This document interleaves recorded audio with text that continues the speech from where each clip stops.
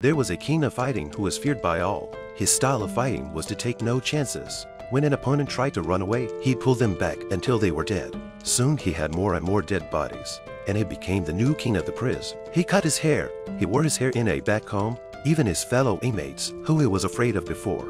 He dared to challenge them. He has indeed changed from being afraid of violence. He's ended up becoming violence itself.